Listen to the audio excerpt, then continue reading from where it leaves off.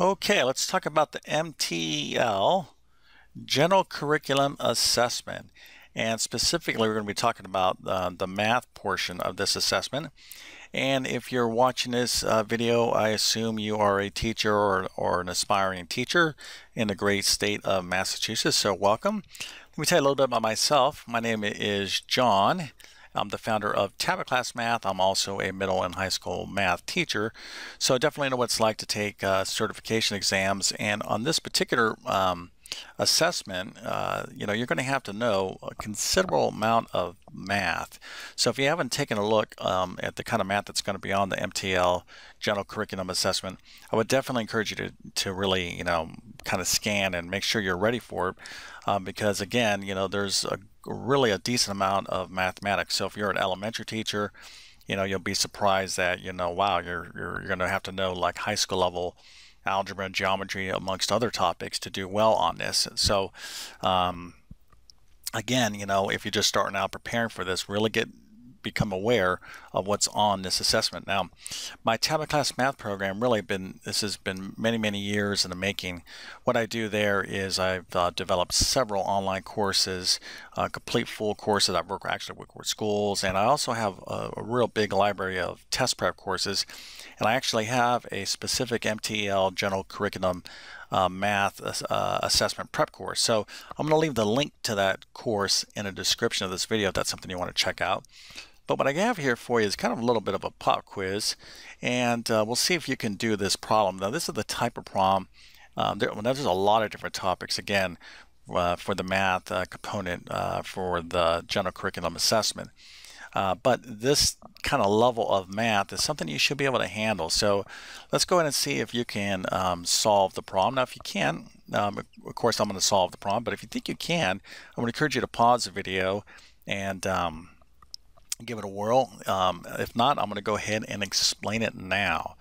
So what we're dealing with is an equation, obviously, right? Because here in math, when you see this symbol, we're talking about an equation. Now, just a quick little review in algebra, basic algebra, kind of algebra 1, the high school level algebra, you study various different types of equations. So we learn how to solve um, what we call linear equations. Let's do a quick example. Something like this would be an example. That's a linear equation.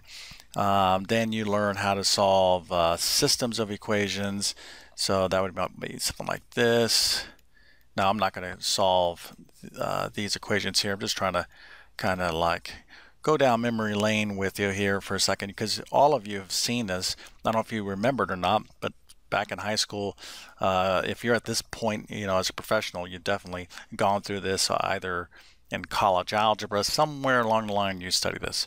Uh, you could also have uh, quadratic equations, something like this, uh, for example. So there's all different types of equations. Now, uh, there's much, many, many more that we can uh, talk about, but one particular type of equation that you study is something called a radical equation. So uh, equations that involve square root symbols. Let's just kind of say like uh, say it like that. So here we have a uh, radical equation, and that's a specific type of equation. And in Algebra 1, you learn how to solve these various different type of equations. They and, and they all require kind of a different approach okay so it's not like you just learn how to solve equations and and that's that so anyways hopefully that kind of like uh, maybe kind of stirred up some mem memories of learning this stuff. So here we have a radical equation. I'd like you to solve for x. Okay. All right, so I'm going to go ahead and solve this now. So what we want to do, the first thing we want to do here is we want to get rid of the square root. So to get rid of the square root, let me just use a simple equation. Okay, let's just, oh, I'm going to kind of teach you this very kind of crash course, if you will, on how to solve radical equations. So here I have the square root of x equals 2. Okay, now think about x is in algebra just represents some number. So if I just said to you, and I just even said it verbally, not even just wrote it out, I said, hey, the square root of what number is 2? Let's say that again. The square root of what number is 2? You would say, oh, that's 4. And I'd say, oh, yes, that's right. Now, we know the answer is 4, so I want to know what x is, but I got this square root. here. So what I can do to get rid of it is just to square that. Okay, anytime you want to get rid of a square root, just square it. But if you square one side of the equation, you got to square the other side of the equation. So when I square both sides, I get x. Again, the square root symbol goes away, and then 2 squared is 4. Okay, so I'm just using this real basic uh, kind of illustration here to, to point out that when you have a radical equation, a square root specifically, there's other types of radical equations. We could take the cube root and they, you know, we're, we're getting, it's going to get more sophisticated. But when you only have the square root uh, in a, a particular equation just like this, we can just square both sides.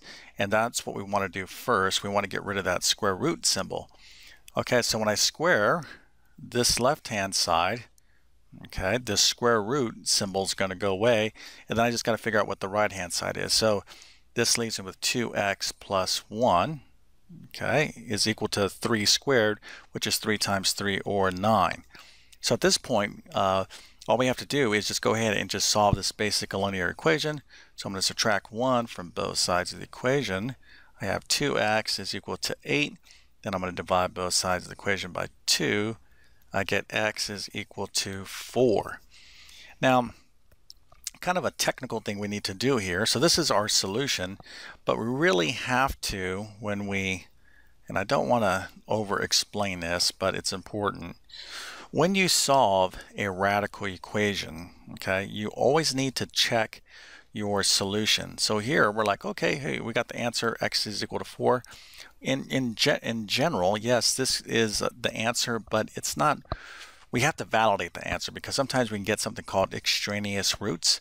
Uh, so again, I don't want to turn this into a complete full lesson. That's what my, my, my prep course is for. But what we need to do is just plug this, this um, solution, plug it back into the radical equation and see if this actually uh, uh, balances. Okay, so for example, what we're going to do here is going to be 2. We're going to replace this x with 4. All right. And now we're going to go ahead and just go ahead and simplify the left-hand side. So this is going to be the square root of 2 times 4 is 8 plus 1. And, and we're going to see, does this check? Okay, does this solution check? 8 plus 1, the square root of 9, is that equal to 3? Yes, the square root of 9 is actually equal to plus or minus 3. So yes, this is true. Okay, that's a true statement, meaning that in fact this is a good solution, not an extraneous solution. Now, Again, I don't want to go into a complete lesson what's an extraneous solution, but just know that sometimes in the course of, of uh, solving radical equations, you can get a solution at this point in the problem, and then when you go plug it back in, it doesn't work out. So that's why you always have to check your solutions. All right, so if you understood all that, then that's you know um, excellent for sure. Uh, but it's by no means kind of like, well, now you, you know, this is all you need to know for the MTEL general curriculum assessment. There's a lot of math you, you know to cover, algebra and geometry, and amongst other topics. So uh, let's go ahead and uh, wrap up this video. So um, the whole point here is to help you out, you know, prepare for this exam, or maybe uh, um, you know motivate you uh, to to you know properly because sometimes the best motivation comes from reality. Like it's like, well, uh, times you know these titles, especially elementary um, assessments.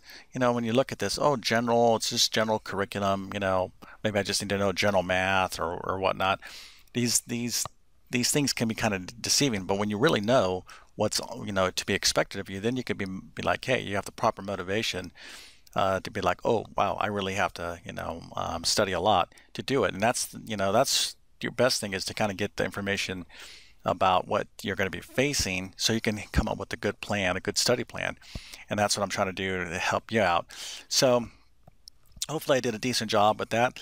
Again, if you think you like my teaching style uh, and you want to check out my full MTEL uh, general curriculum um, assessment, my math prep course to that, I'm going to go ahead and leave a link uh, to that course in the description of this video. At the time of this video, I've been on YouTube for 12 plus year. I have uh, 12 plus years. I have hundreds and hundreds of videos on uh, YouTube. It's something I'm really proud of. Um, I just been, you know, I'm really passionate about teaching math, and I've been doing it for a long, long time, and I'm pretty proud of the fact that now we have like 126,000 plus subscribers at the time of this video, and like 13 million views. It's just you know, I put videos out there. Sometimes they're, you know, a few people watch them. Sometimes millions of people watch them. Either way, I'm just gonna, I just teach. You know, I did, I love to teach math. Um, and it keeps me sharp as a, as a teacher as well. So hopefully, you know, I have a kind of teaching style that you kind of can understand. But it's one teacher to another, you know, just doing doing my thing, you know, as a, as a teacher, uh, and uh, that's what I've been doing for a long time, and that's what I'll always will uh, continue to do. Um, but again, I want to uh, encourage you that uh, I always say these, especially when I'm speaking to teachers, that if this is your first time or your second time or third time taking this assessment, it's okay. A lot of people, a lot of teachers, uh, you may know this or you may not know this. A lot of teachers have to retake um, or don't make or pass um, certification or assessments the first time out. So this is your second or third time. Don't beat yourself up just get a good study plan going forward figure out hey what where's your weaknesses and then how you know figure out how to address them.